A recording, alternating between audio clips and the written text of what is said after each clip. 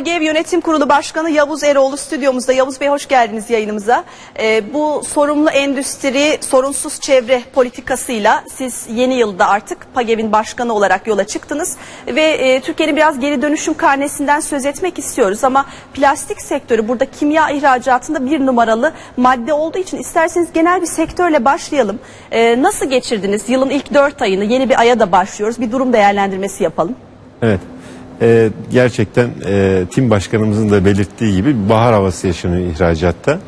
Ee, bizim kimya e, içinde e, otomotiv e, ihracatından sonra kimyanın alt dallarında e, plastik petrokimya sektörü olarak da ikinci sırada yer alıyoruz.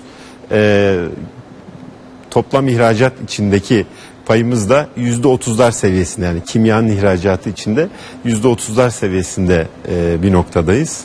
Dolayısıyla e, ihracat yönünden bakıldığında sektörümüzün e, bu senenin ilk dört ayında da geçmiş geçen senede yaşadığımız büyümede e, bizleri tatmin eden bir noktada. Bir de bunun tabii güzel yanı 150 ülkeye yayılan bir e, pazar ağına sahibiz. Değişik pazarlarda Türk plastik sektörü e, gerçekten ülke e, ihracatına iyi bir katkı yapıyor. Bu da tabii ülkeye döviz kazandırdığımız için biz plastik sanayicilerini çok mutlu ediyor. Ee, az önce haberde gördük ihracat verileri açıklandı. Bahar havası yaşamaya başladı yorumları var gerçekten. Gazetelere de bu başlıklarla yansıyor ve Tim Başkanı'nın şöyle bir değerlendirmesi var. Ee, küresel talebe ilişkin gelişmeler 2014'ü Türkiye için bir fırsat yılı haline getirecek diyor ve ihracatçı da bu fırsatı değerlendiriyor diyor. Siz plastik sektörü olarak hangi e, mesela ülkelere ihracat yapıyorsunuz ve biraz rakam da verebilir misiniz bize? Tabii hay hay. Şöyle söyleyelim bir kere e, önce isterseniz neden bir fırsat onu söylemekte fayda görüyorum. Çünkü e, küresel anlamda e, IMF'in de verilerine baktığınızda e, 2014 yılı için beklentiler genel anlamda özellikle gelişmekte olan ülkelerde yani tüketimin büyük olduğu ülkelerde bir toparlanma bekleniyor rakamlara baktığımızda. Örneğin bizim en büyük e, partnerimiz, ihracat partnerimiz Avrupa Birliği'nde eksi 0.4'ten 1.4'lere çıkan bir beklenti var 2004 için, 2014 için. Dolayısıyla bu e, gelişen ülke, gelişmiş ülkelerdeki tüketimdeki artış, büyüme otomatikman diğer gelişmekte olan ülkelerin ihracatına yansıyacak bir noktada. Ülkemiz de bu anlamda bir kere bundan yararlanacak e, görünüyor. Plastik sanayi de özellikle ihracata başarılı bir ihracat yapan bir sektör olarak da bundan faydalanacak. Rakamlara gelirsek 2013 yılı içindeki rakamlarımıza baktığımızda bizim toplam Türkiye ihracatımız 152 milyar dolar. Bunun içinde e, bizim e, kimya e, sektörümüzün e, ihracatı 17,5 e, milyar dolar civarında. Hemen bunun içinde alt kırılımında plastik sektörüne baktığınızda da direkt ihracatımız 5.25 e, milyar dolar seviyesinde. Yani kimya sektörünün yaptığı ihracatın %30'luk kısmını plastik sektörü olarak gerçekleştiriyoruz. Bu gerçekleştirilen rakamın da aşağı yukarı 1 milyar küsür e, dolarlık kısmı plastik ham madde ihracatımız. Bakiyesi ise yani %80'lik kısmı ise ihracatın plastik mamul ihracatı. Bunun da alt kırılımı yine plastik ambalaj sektörünün yaptığı ihracat büyük kalemler, plastik inşaat malzemelerinin yaptığı e, yine e, bir ihracatımız var ve plastik sofra mutfak eşyası grubumuz var. Bunlardaki artışlarımız da e, genel anlamda baktığımız en büyük artışımız plastik sofra mutfak eşyasında geçen sene bir önceki seneye kıyasla yüzde 23'lük bir artış yakaladık. E, diğer e, alt gruplarımız inşaat sektöründe yüzde on iki buçuk gibi bir ihracatta artışımız var geçen Bu sene. yıl ne hedefliyorsunuz? Ya 2014'te nasıl Yani büyüme şimdi tabii geçen seneki büyümelerin üzerinde bir büyüme olacak. Zaten ilk 4 aylık veri de onu gösteriyor. Bu seneki 2014 ile ilgili beklentilerimiz olumlu yönde. Nitekim ilk bu olumlu beklentilerimiz sene başındaki bu bahar havası dediğimiz şeyle de bir nevi ilk tasdiğini almış oldu. Geçen senenin üzerindeki rakamlarla bu sene ihracatımızı kapatacağız. Ee, demin ihracattan bahsederken 5 e, 5.25 milyar dolar dedim ama bu direkt ihracat. Bir de bizim plastik sektörü biliyorsunuz hayatın birçok yerinde ve birçok ürünü endirekt olarak da ihraç ediyor. Yani bir buzdolabı ihraç ettiğinizde, bir araba ihraç Yani ettiğinizde. yan sektörleri de evet, birçok katarsak ne olur? onları kattığınızda tabii bu rakam 11 milyar dolarlara çıkıyor. 6 milyar dolar da endirekt ihracatla birlikte 11 milyar dolarlık bir ihracat büyüklüğüne ulaşan bir yapı. Bu kur hareketliliği sizi nasıl etkiledi? Çünkü yıla çok hareketli başladık. Evet. Şu anda her ne kadar bir durulma var, işte dolar TL'de bir gevşeme var, euro TL'de aynı şekilde ama o hareketlilik e, sürecinde nasıl kendinizi hece ettiniz, nasıl idare ettiniz? Şimdi plastik sektörümüzün e, belki de e, en önemli e, üzerinde çalıştığı konulardan biri. Çünkü plastik sektörü demin mamulde mamulle alakalı anlattığım yönde özellikle mamul ağırlığında e, dış ticarete e, katkı veren, dış ticarete pozitif yönde katkı veren, dış ticarete dış ticaret açığını azaltan bir sektör. Ancak maalesef ham madde yani petrokimyasal ürünler yani ana ham maddesi itibariyle ise, e, ise ithalatçı bir sektör. Çünkü geçen sene örneğin bizim ürettiğimiz mamullerin e, ham maddelerinin yüzde 88'i ithalle karşılandı. Yani yurt içindeki üretimimiz maalesef bizim ihtiyacımızı karşılamanın e, gerisinde kaldı. Dolayısıyla e, bu şekilde bakıldığında e, bizim orada bir e, dış ticaret açığımızın e, oluştuğu özellikle ham madde sektörünü görüyor. Bu da nasıl etkiliyor bizi? Sizin kurla alakalı bağlantınız şu. Plastik sektöründeki firmalar e, girdilerini döviz olarak temin etmek zorundalar. Ana ham maddeleri döviz olarak elde ediliyor. Dolayısıyla bir e, şeye de baktığınızda yurt içi yurt dışı satış e, toplam plastik sektörünün geçen seneki büyüklüğü üretim hacmi 34 milyar dolar seviyesinde. Şimdi bunun 11 milyar dolarını ihraç ediyoruz dedik. Dolayısıyla bir açık kısmı var. Yani yurt içine satılan ciddi bir kısım var. Yani 23 milyar dolar gibi. 23 milyar dolarlık kısmı dövizle aldığınız ham madde yurt içine TL ile satıyorsunuz. Dolayısıyla yurt içi satış kısmında bir açık pozisyon oluşuyor.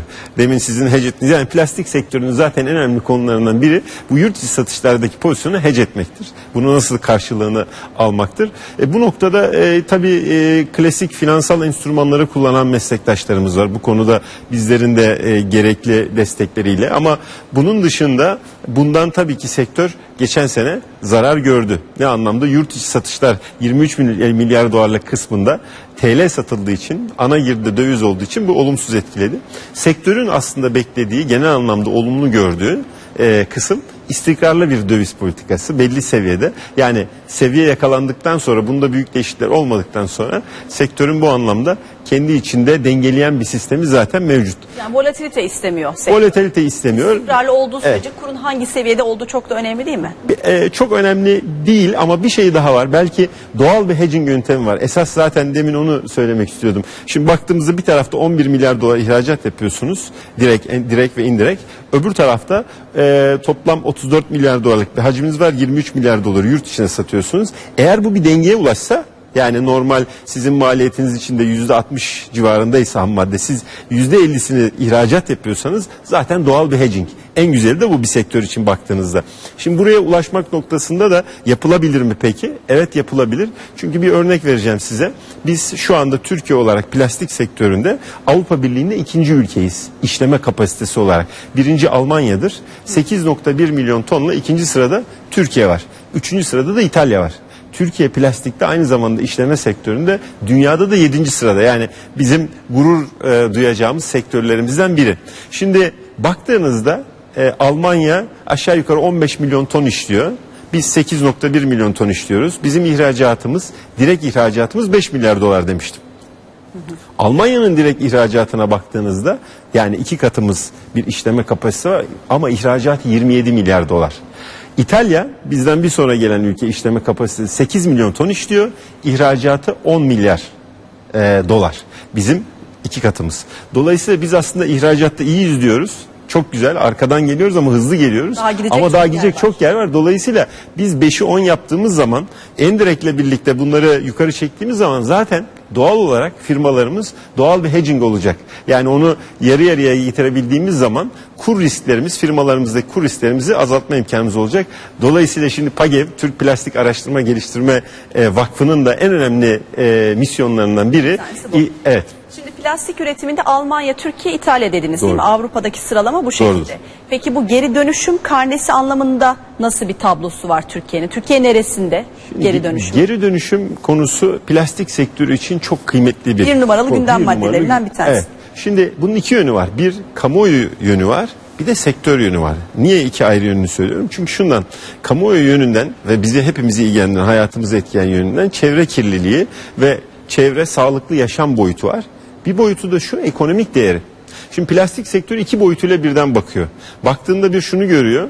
Ya bu plastiklerin en büyük avantajı yani plastik dediğiniz şey aslında mucizesi şu.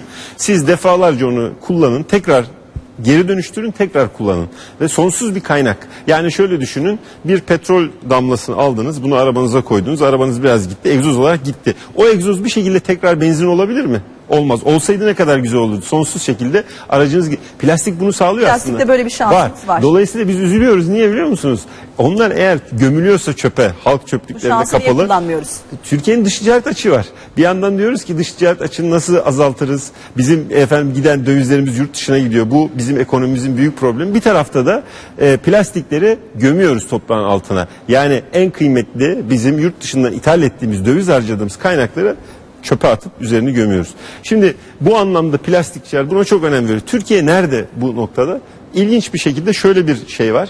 Şimdi e, bu atık yönetim ve çevre olayına baktığınız zaman bir bunun normal olması gereken şekli var. Nedir? Sistematik bir yaklaşım içinde işte kaynağında ayrıştırılmış, düzgün bir şekilde toplanmış ve geri dönüştürülmüş sistem içinde gitmesi gerekiyor. Türkiye bu sistemin genel hatlarıyla mevzuat yönünden gayet düzgün. Yani zaten bu konudaki mevzuatımız Avrupa Birliği mevzuatıyla uyumlu bir mevzuat. Ama uygulama var mı? Evet, Türkiye'deki genel zaten konumuzdur. Bütün Sorun bu eminim zaten. burada programlarınızın çoğunda Kağıtlar üzerinde her şey çok güzel ama uygulamaya maalesef Kanunlarımız geçiremiyoruz. çok uygulama uygulama gelişiyor.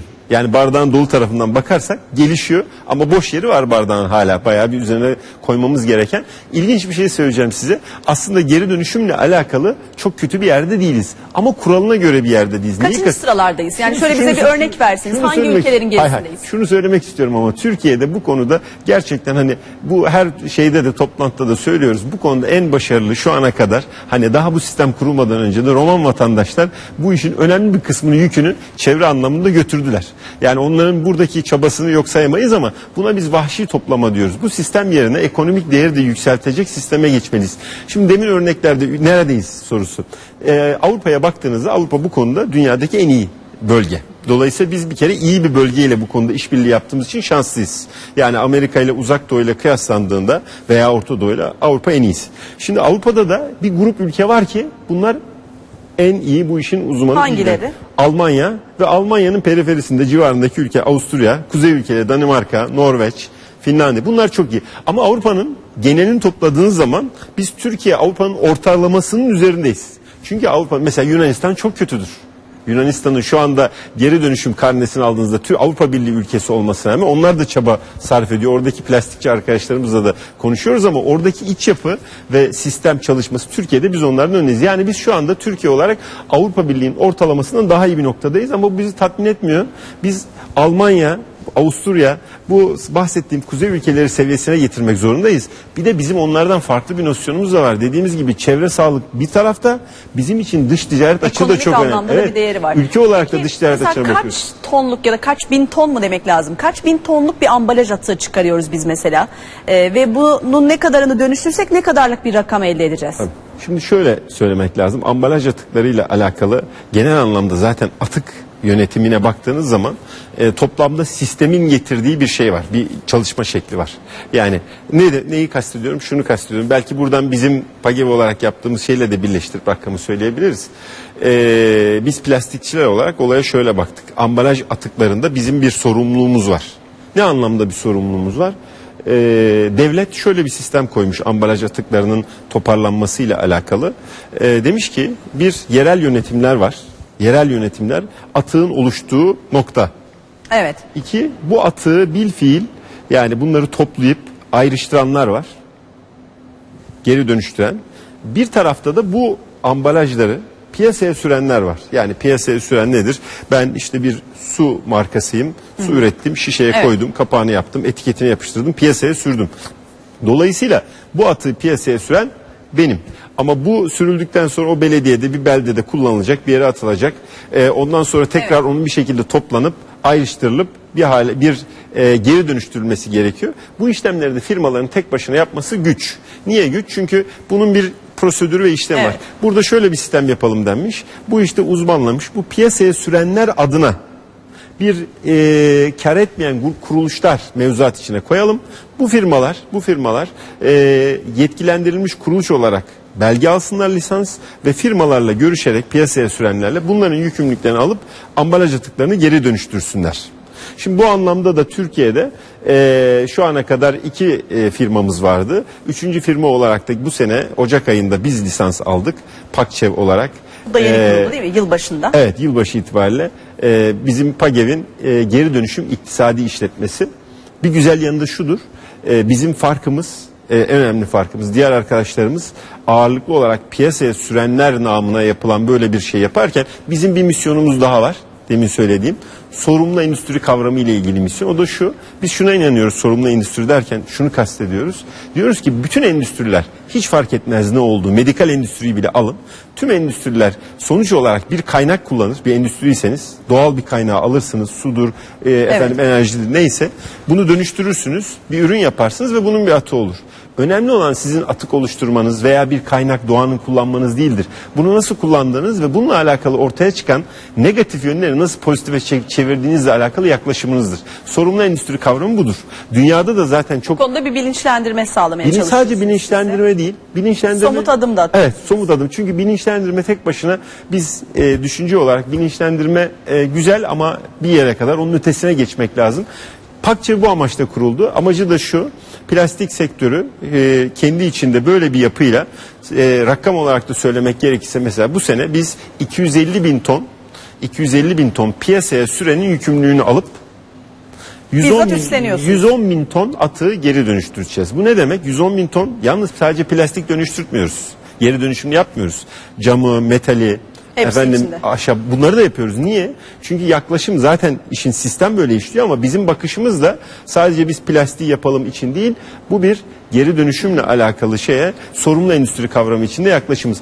Demin rakamlarla ilgili söylediğinizde belki şunu da ekleyebiliriz. Bizim dışında diğer iki e, firmamız da yine aynı şekilde yetkilendirilmiş kuruluşla onların yaptığı tonajlarla birlikte baktığımızda tabii bir yekün tutuyor ama bu toplam sisteme kayıtlı sistem içindeki rakam e, Türkiye için düşük yüzde onlarda bir rakamdan geliyor. Dolayısıyla yol alınabilecek çok bir e, mesafe olduğunu düşünüyoruz. Ee, süremizin bittiğini yönetmenim hatırlattı. Ee, Pakçev olarak bu yeni kurduğunuz alt e, kuruluşla birlikte siz hafta sonu bir de maraton koştunuz. Yani bilmiyorum çok vaktimiz kalmadı ona ama böyle kısacık bir cümle ekleyeceğiniz var mıdır? Yani şöyle söyleyebilirim. Tabii biz e, PAGEV olarak PAGEV e, e, geri dönüşüm iktisadi işletmesi olarak bir çevreyle ilgili bir faaliyeti e, sağlıktan ayrı göremiyoruz. Zaten baktığınızda çevre niçin çevre? Çünkü gelecek nesillere sağlıklı bir ortam bırakmak, yaşam ortamı bırakmak için çevre.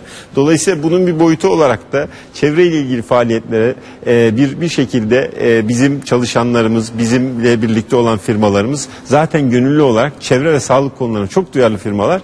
Sağ olsunlar bu duyarlılıklarını e, böyle kilometrelerce koşarak da terleriyle de gösterdiler. İşin doğrusu terleyerek de bunu göstermiş oldular.